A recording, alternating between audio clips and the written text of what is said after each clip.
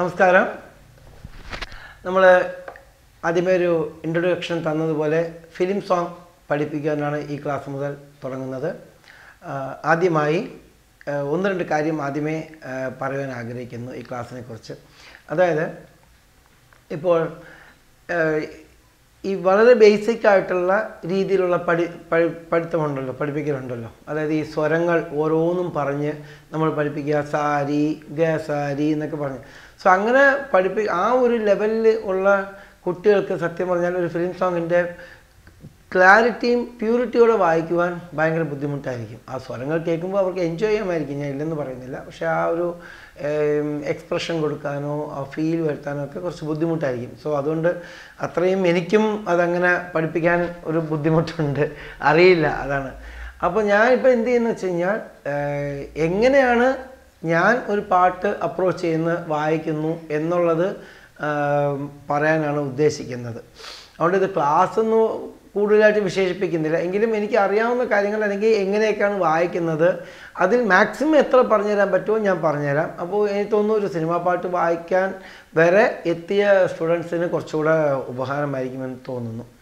അതൊന്ന്. രണ്ടാമത്തേത് നമുക്ക് പാട്ട് വായിക്കുമ്പോൾ രണ്ട് മൂന്ന് രീതിയിൽ നമുക്ക് വായിക്കാൻ പറ്റും. ഒന്ന് വന്നിട്ട് നമ്മുടെ എങ്ങനെയാണോ നമ്മൾ ബേസിക് പഠിച്ചിരിക്കുന്നത് പ്രാക്ടീസ് ചെയ്ത് വെച്ചിരിക്കുന്നത് ആ സ്കില്ല് വെച്ചാണ് നമുക്ക് വായിക്കാൻ പറ്റുന്നത്. അപ്പോൾ അതൊരു കാര്യം. രണ്ടാമത്തത് മെയിനായിട്ടും ഒരു പാട്ട് എവിടെ വായിച്ചാലാണ് അതിന്റെ പൂർണത വരുന്നു എന്നൊരു സംഭവം ഉണ്ട് അല്ലേ? അപ്പോൾ അത് ആ ഏരിയയിൽ വായിക്കുവാനായിട്ട് നിങ്ങൾ കുറച്ച് പ്രാക്ടീസ് ചെയ്യണം. ചില ചില സംഗതികൾ അവൾ വായിക്കും. ആ രീതിയിലുള്ള പ്രാക്ടീസ് ചെയ്യുമ്പോൾ നിങ്ങൾക്ക് കുറച്ചുകൂടെ അത് ക്ലാരിറ്റിയോടെ വായിക്കാൻ സാധിക്കും. അല്ലാത്തവർ അപ്പുറത്ത് അങ്ങോട്ടും ഇങ്ങോട്ടും രണ്ട് സ്ട്രിങ്ങിൽ അഡ്ജസ്റ്റ് ചെയ്ത് വായിക്കുന്നത് തെറ്റൊന്നുമില്ല. ഞാൻ പറയുന്നത് ആ ഒരു എന്തു പറയും പ്യൂരിറ്റി കിട്ടണമെങ്കിൽ വായിക്കണം. പിന്നെ നമ്മളെല്ലാവരും അങ്ങനെയും ഔട്ട്സ്റ്റാൻഡിങ് ബേസിക് പഠിച്ചിട്ടല്ലല്ലോ നമ്മൾ വായിക്കുന്നത്. അപ്പോൾ അതിന്റെ ഉള്ള കുറവുകൾ അവിടെ ഇവിടെയൊക്കെ കാണും. But try to do the best അത്രയേ നമ്മൾ ഉദ്ദേശിക്കുന്നുള്ളൂ. അപ്പം ഞാൻ മാക്സിമം അത് കാണിച്ചു തരാം. വായിച്ച് പറഞ്ഞു തരാം. ഓക്കെ അതനുസരിച്ച് നമുക്ക് മുന്നോട്ട് പോകാം ഓരോന്നായിട്ട്. നമ്മൾ ഇന്ന് ആദ്യമായി ആ, പഠിക്കുവാൻ ആഗ്രഹിക്കുന്നത് ആ, പഠിപ്പിക്കുവാൻ ആഗ്രഹിക്കുന്നത് മലയാളത്തിലെ വളരെ എക്കാലത്തെയും ഹിറ്റും മെലഡിയുമായ ഒരു പാട്ടാണ് യാത്ര എന്ന സിനിമയിൽ നിന്നും തന്നന്നം താനന്നം താളത്തിലാടി എന്ന സിനിമ പാട്ട് ഇതിന്റെ മ്യൂസിക് ഡയറക്ഷൻ വന്നിട്ട് ഇളയരാജയാണ്. എല്ലാവർക്കും അറിയാതിരിക്കാം. ഇതിന്റെ ലിറിക്സ് എൻ വി കുറുപ്പ് സാറാണ്. ഓക്കെ. അപ്പോൾ ഈ പാട്ട് ശരിക്കും പറഞ്ഞാൽ ഒരു എളുപ്പം എന്നല്ല പക്ഷെ ഒരു റൈംസിന്റെ രീതിയിലാണ് നഴ്സറി റൈംസിന്റെ രീതിയിലാണ് തുടങ്ങിയിരിക്കുന്നത്. ഈ പാട്ടിന്റെ ഫസ്റ്റ് ലൈൻ നമ്മൾ കേട്ടിട്ടുണ്ടല്ലോ തന്നെണ്ണം താനെണ്ണം താളത്തിലാടി. ഈ സംഭവം വന്നിട്ട് ശരിക്കും ഇളയരാജ ഇൻസ്പയർഡായി ചെയ്ത ഒരു മ്യൂസിക്കാണ് അത് എവിടെയെന്ന് വെച്ച് കഴിഞ്ഞാൽ സൗണ്ട് ഓഫ് മ്യൂസിക് എന്ന് പറഞ്ഞിട്ട് കുറേ ഓസ്കാറൊക്കെ വാങ്ങിച്ച ഒരു ഇംഗ്ലീഷ് ഫിലിമുണ്ട് എല്ലാവരും അത് കാണണം. ഇറ്റ്സ് എ ഫാന്റാസ്റ്റിക് മൂവിയാണ് ഫോർ മ്യൂസിക് അപ്പോൾ ആ ഫിലിമിൽ ടൈറ്റിൽ എഴുതി കാണിക്കുമ്പോൾ മ്യൂസിക് വരും കുറേ മ്യൂസിക് വരും. അതിൽ ഡിഫറെന്റ് ഡിഫറെന്റ് ആയിട്ടുള്ള മ്യൂസിക്സ് വരാ ഇങ്ങനെ വരും ജോയിന്റ് ആയിട്ട്. അപ്പോൾ അതിൽ ഒരു സെക്കൻഡ് സെക്ഷനായിട്ട് വരുന്ന ഒരു മ്യൂസിക്കിന്റെ തുടക്കമാണ് ഇത്. ടൻ ടൻ ടൻ ടട ടൻ ടട ടൻ ടട.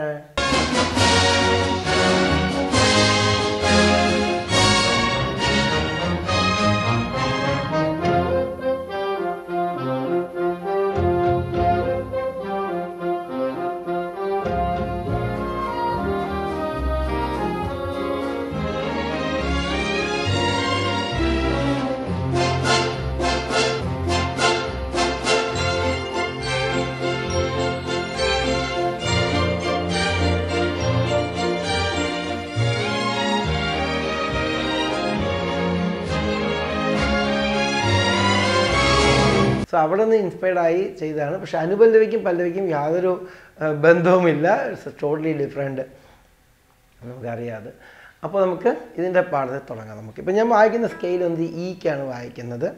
ഓക്കെ ശരി. നമ്മൾ തുടങ്ങുന്നത് ഒന്ന് രണ്ട് കാര്യം ഇത് തുടങ്ങുന്നത് ഞാൻ പറയാൻ പറയാൻ ഉദ്ദേശിക്കുന്നത്. ഇപ്പോൾ third string second string first string ഈ മൂന്ന് സ്ട്രിങ്ങിലും നമ്മൾ ഈ പാട്ടിന്റെ റൂട്ടുണ്ട് അതുപോലെ തന്നെ ഇവിടെ നിന്ന് ഈ മാ നിങ്ങൾ പ്രാക്ടീസ് ചെയ്ത് കാണും. ഇങ്ങനെ മാ വായിക്കാനൊക്കെ. ഇവിടെ നിന്ന് മുകളിലോട്ട് വായിക്കാനും ഒരു ഓപ്ഷൻ ഉണ്ട്. ഈ തേർഡ് സ്ട്രിങ്ങിൽ വായിക്കാനും ഈ പാട്ടിന്റെ ഒരു ഓപ്ഷൻ ഉണ്ട്. അത് രണ്ട് നമുക്ക് നോക്കാം ഓരോന്നായിട്ട്. ശരി. ഇനിയിപ്പോൾ ഈ ഇതിന്റെ ഒരു തുടക്കം എന്ന് പറയുന്നത് പലപ്പോഴും ഇപ്പോൾ പ സ രി സ സ പ സ രി സ എന്നാണ്.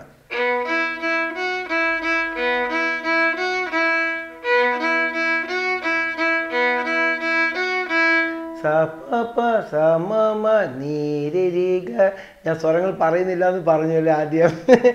ഞാൻ പറഞ്ഞത് ഇത് കഴിയുമ്പോൾ കുറേ കാര്യങ്ങൾ പറയാൻ പറ്റത്തില്ല. അതുകൊണ്ടാണ്. അപ്പം മാക്സിമം ഞാൻ പറഞ്ഞുതരാം. നിങ്ങൾക്ക് അറിയ അറി അറിയിക്കാൻ പറ്റുന്ന രീതിയിലെല്ലാം ഞാൻ അറിയിക്കാം. പക്ഷെ അറിയിക്കാൻ പറ്റാത്ത ചില സ്ഥലങ്ങളുണ്ട്. അതാണ് ഞാൻ ഉദ്ദേശിച്ചത് കേട്ടോ. ഓക്കെ സ പ മ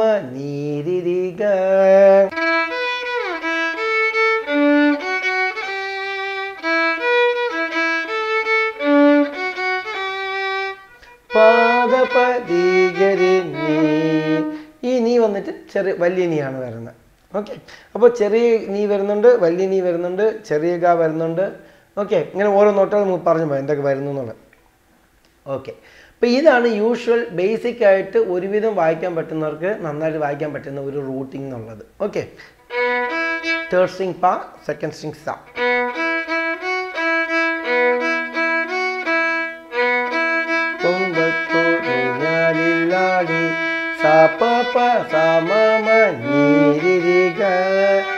സ പ പ സ മ മ നീ രി രി ഗ പാദ പ രി ഗ രി നീ ഓക്കെ. ഇത് സനി എന്ന് വരും. അല്ലെങ്കിൽ സനനി എന്ന് വായിച്ചാലും മതി. ഓക്കെ. ഇതാണ് പല്ലവി എന്നുള്ളത്. ഓക്കെ ഈ പല്ലവി നമുക്ക് കുറച്ചുകൂടെ ഡെവലപ്പായി പഠിച്ചവർക്ക് എങ്ങനെയാണ് ഇതിന്റെ കുറച്ച് ക്ലാരിറ്റിയോടെ വായിക്കാൻ പറ്റുക? ഇപ്പോൾ ഇത് രണ്ടും ആക്ച്വലി രണ്ട് ടോണാണ്. രണ്ട് സ്ട്രിങ്ങിലായതുകൊണ്ട് രണ്ട് ടോണായിട്ടാണ് വരുന്നത്. അപ്പോൾ അത് നമുക്ക് കട്ട് ചെയ്തിട്ട് ഒരേ ടോൺ ക്വാളിറ്റിയിൽ വായിക്കാൻ നമുക്ക് എന്താണെന്ന് വെച്ച് കഴിഞ്ഞാൽ സായുടെ ഫിംഗർ ഇവിടെ വായിക്കണം. തേർഡ് സ്ട്രിങ്ങിൽ തന്നെ. അപ്പോൾ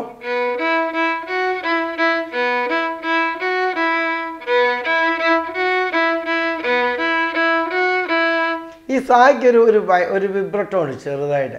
സോ അത് കിട്ടണം എന്നുണ്ടെങ്കിൽ ഓപ്പൺ സൈഡ് അതൊരിക്കലും കിട്ടത്തില്ല ഈ ഫീൽ അതുകൊണ്ടാണ് നമ്മൾ ഇങ്ങോട്ട് വായിക്കാൻ ശ്രമിക്കുന്നത്.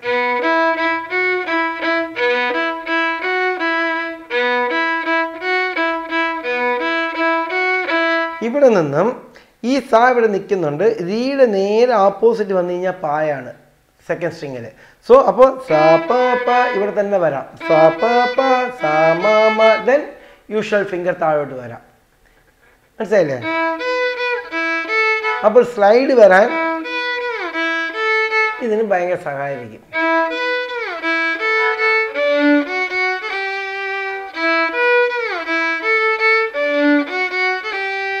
ദെൻ ഇവിടെ വന്നു. അതേപോലെ നേരെ എടുത്ത് സെയിം പൊസിഷനാണ് ഇപ്പുറത്തും. So it be very easy and perfect ആയിട്ട് വായിക്കാൻ പറ്റുന്ന ഒരു ക്രോസ് ഫിംഗർ ആണ്. അങ്ങോട്ടും ഇങ്ങോട്ടും രണ്ട് സ്ട്രിങ്ങിൽ ക്രോസ് സ്ട്രിങ് ചെയ്യാൻ ഭയങ്കര സുഖമാണത്. ആ സംഭവം കുറച്ചുകൂടെ ക്ലിയർ ആയിട്ട് വായിക്കാൻ പറ്റും.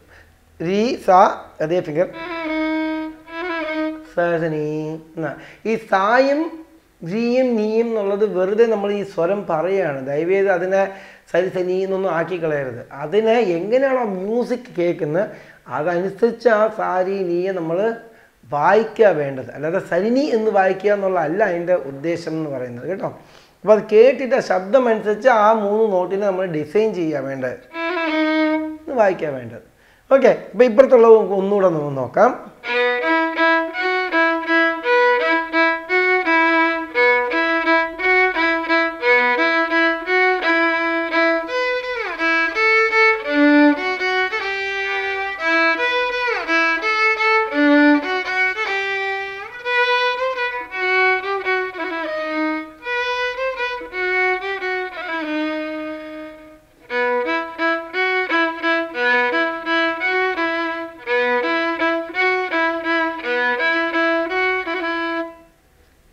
സോ ഇതാണ് ഇതിന്റെ പല്ലവി എന്ന് പറയുന്നത്.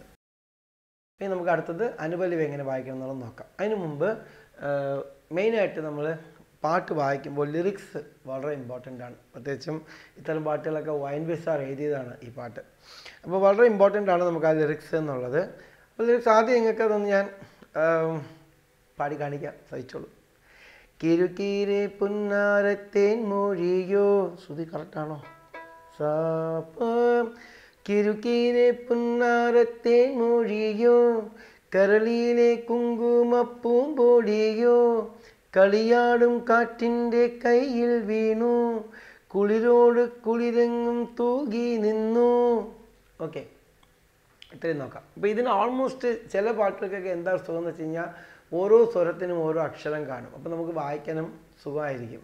അപ്പോൾ ചില സ്ഥലത്തൊക്കെ ഈ നീട്ടി വരുന്ന സ്ഥലത്ത് അതേ ബോ അതുപോലെ ഇടുകയാണെങ്കിൽ ലിറിക്സ് അനുസരിച്ച് ഇടുകയാണെങ്കിൽ നമുക്ക് ഭയങ്കര സുഖം തോന്നും. ആ പാട്ട് കേൾക്കുന്നവർക്ക് പെർഫെക്റ്റ് ആയിട്ടും അവർ പാടുന്നതിന്റെ കൂടെ തന്നെ കേൾക്കുന്ന പോലെ തോന്നും. ഓക്കെ ഇതൊക്കെ കേൾക്കുമ്പോഴും ചിലരൊക്കെ എന്താ പറയുന്ന കുറേ നമ്മൾ കാര്യങ്ങൾ പറയുന്നു വിചാരിക്കുന്നു. ഇതെല്ലാം നിങ്ങൾ വായിക്കുന്ന പാട്ടിന്റെ ക്ലാരിറ്റിയും പ്യൂരിറ്റിയും കൂട്ടാനാണ് നമ്മൾ പറയുന്നത്. പഠിക്കുന്ന എളുപ്പമാണ്. കാര്യം നിങ്ങൾക്ക് സ്കില്ലുണ്ട് അപ്പോൾ പെട്ടെന്ന് ഇങ്ങനെ വായിച്ചാൽ മതി എന്ന് കാണിക്കുന്നതിനേക്കാളും ഉപരി ഞാൻ കൊടുക്കുന്ന ഇമ്പോർട്ടൻസ് ആണ് ഇത്രയും ഡീറ്റെയിൽസ് ഇന്ന് detailing is very important for our playing okay അപ്പോൾ ലിറിക്സ് നോക്കുക ലിറിക്സ് പഠിക്കുക. നമുക്ക് അടുത്തെടുക്കാം ഓക്കെ ഇവിടെ വന്നിട്ട്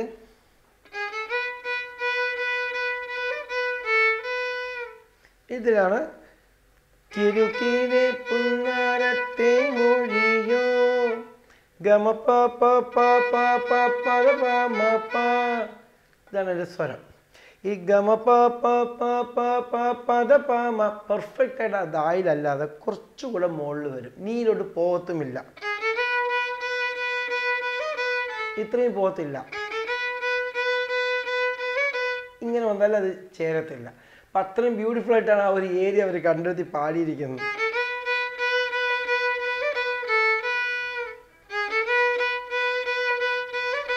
ഞാൻ പറഞ്ഞില്ല ഇപ്പോൾ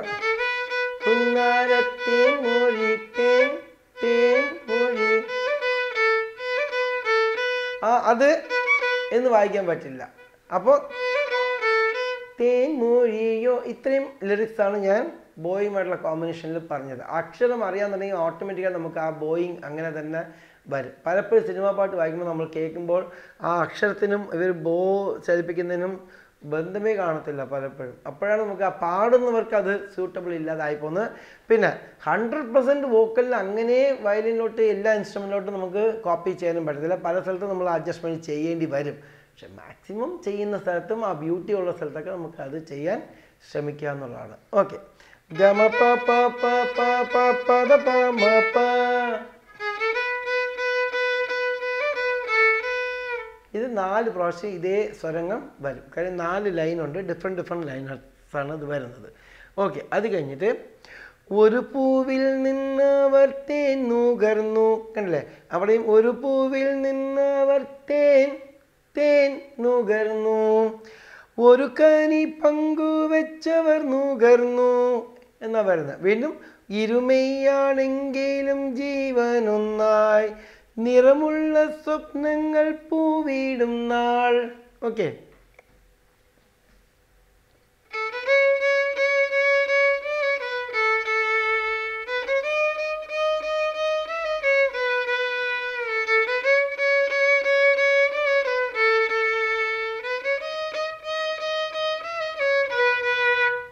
ഞാൻ സംഭവമുണ്ട്. പൂവിടും നാൾ. ഓക്കെ ഇപ്പം ഞാൻ ഇതെല്ലാം ഈ സിംഗിൾ സ്ട്രിങ്ങിൽ വരുന്ന രീതിയാണ് കാണിച്ചു തന്നത് അല്ലേ? ഇപ്പോൾ ഡബിൾ സ്ട്രിങ്ങിൽ വായിക്കുന്നവർക്ക്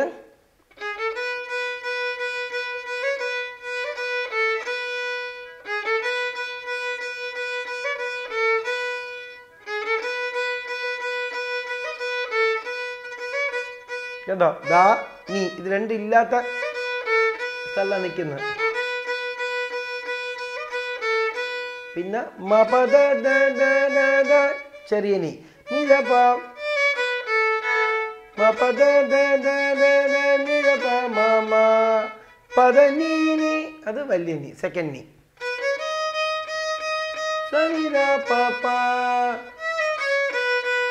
മപദ നിര പ മമ വലുത്. പദ നീ നീ നീ നീ നീ സനിര പപ ഞാൻ സ്വരമായിട്ട് വായിച്ച് കാണിച്ചാണ് കേട്ടോ. ഇങ്ങനെ വേണം വായിക്കാൻ. പിന്നെ ഇതാണ് രണ്ട് സ്ട്രിങ്ങിൽ വായിക്കുന്നവർ വായിക്കേണ്ട ഒരു രീതി. പിന്നെ ഒരു സ്ട്രിങ്ങിൽ വായിക്കുമ്പോൾ എന്താണ് വായിക്കുന്നത് പറഞ്ഞുതരാം. സോ പിങ്കി ഫിംഗറാണ് മാ പ ദ എന്നാണ് വരുന്നത്. പിന്നെ ഈ പാ കഴിഞ്ഞാൽ ദായിലോട്ട് പോകുന്നത് ഫസ്റ്റ് ഫിംഗറാണ് എങ്കിൽ ആ നീ സാ നമുക്ക് വായിക്കാൻ പറ്റും.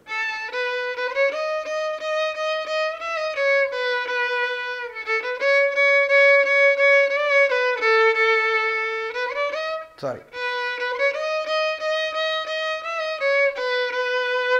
എന്നാണ് വരുന്നത്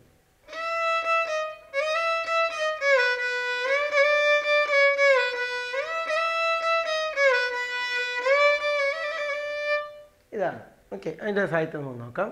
കൂടുന്നു കൂട്ടാൻ നാരുകൾ തേടി ആൺകിളി എങ്ങോ പോയി. ഓക്കെ ദൂരെ ദൂരെ പെൺകിളി കാത്തിരുന്നു. ഓക്കെ ഇത് നമുക്ക് നോക്കാം. കൂടുന്നു കൂട്ടാൻ ഇതിൽ എന്നാണ് ആദ്യം പാടിയിരിക്കുന്നത്?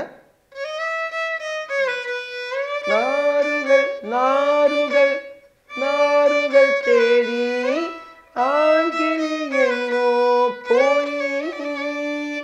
അപ്പോ പോയി. മനസ്സിലായോ? സാസനി പാപ്പ നീ ചെറുത്. നീനിത പാപ്പ സാസനി വലുത്. സാസനി പാപ്പ നീത നീ നീത സനി ഇതാ ഞാൻ പറഞ്ഞ പറയാൻ പറ്റാത്ത ചില ഏരിയ ഞാൻ ഉദ്ദേശിച്ചത് ഇതൊക്കെയാണ്. ഇപ്പോൾ മതി. സാധാരണ വായിക്കുമ്പോൾ നീ നീരസനി എന്ന് വായിച്ചാൽ മതി. ഇത് വായിക്കാൻ അറിയുന്ന വായിക്കുക. ഓക്കെ ആ ലൈൻ ഫുള്ളായിട്ട് നമ്മൾ നോക്കാം. കൂടുന്നു കൂട്ടാൻ നാരുകൾ തേടി. ഇതെല്ലാം ഈ ജോയിന്റ് ആണ്. കൂട്ടാൻ നാരുകൾ തേടി. എങ്ങോ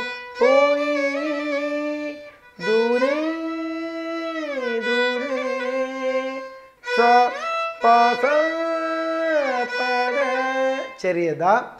പാദപദീകരി പാദപദീകരി നീ അവിടെയും ഇവിടെ വായിച്ചാൽ വളരെ എളുപ്പമായിരിക്കും. അല്ലാത്തവർ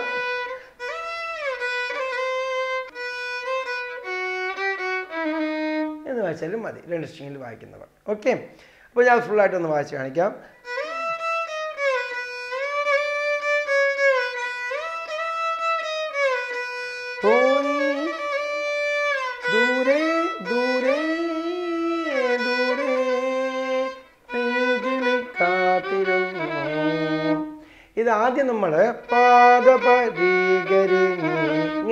കുറച്ച് റഫായിട്ടോ അല്ലെങ്കിൽ സ്ട്രൈറ്റ് ആയിട്ട് വായിക്കാം. കാര്യം പഠിക്കുന്ന സമയത്താണ്. അത് കഴിഞ്ഞ് നന്നായിട്ട് നമ്മൾ മനസ്സിലാക്കിയതിന് ശേഷം മാത്രമേ അതിന് ആ എക്സ്പ്രഷൻ കൊടുക്കാൻ പറ്റുള്ളൂ. അത് കൊടുക്കുമ്പോൾ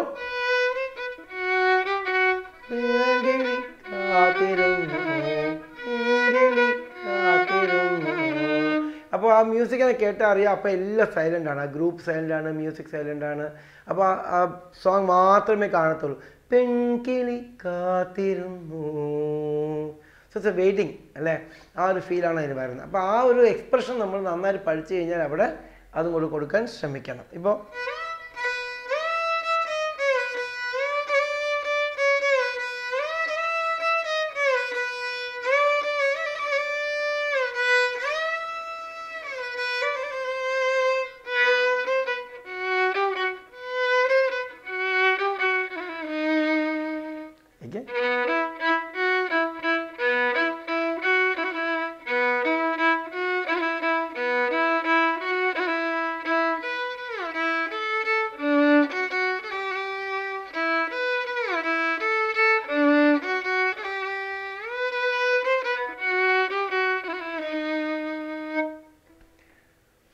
ഇത്രയാണ് ഈ പാട്ടിന്റെ ചില കാര്യങ്ങൾ എന്ന് പറയുന്നത്. ഞാൻ ആദ്യമേ പറഞ്ഞു വളരെ ഡീറ്റെയിൽ ആയിട്ട് എനിക്ക് പറയാൻ പറ്റുന്നില്ല അറിയില്ല. അപ്പോൾ എനിക്ക് അറിയാവുന്ന ഡീറ്റെയിലാണ് ഞാൻ പറഞ്ഞത്. അപ്പോൾ ഇങ്ങനെ രണ്ട് രീതിയിലും ഈ പാട്ട് അങ്ങോട്ടും ഇങ്ങോട്ടും വായിക്കാൻ പറ്റുന്നവരുണ്ടാവും. അതുകൊണ്ട് രണ്ട് രീതിയിലുള്ള ആ ഒരു ഡിസ്ക്രിപ്ഷൻ ഞാൻ തന്നത്. ഇതിൽ മനസ്സിലായവരും മനസ്സിലാകാത്തവരും എന്തെങ്കിലും സജഷൻ ഉണ്ടെങ്കിൽ എനിക്ക് യൂട്യൂബിലെ കമന്റിൽ തന്നെ എനിക്ക് നിങ്ങൾ ഇടുക. എന്തൊക്കെ ഉണ്ടോ അതൊക്കെ നമുക്ക് ഓരോ പാട്ടിലും മാറ്റി മാറ്റി നമുക്ക് നിങ്ങൾക്ക് സൗകര്യപ്രദം പോലെ നമുക്ക് ഇടാൻ ഞാൻ ശ്രമിക്കാം. നന്ദി നമസ്കാരം.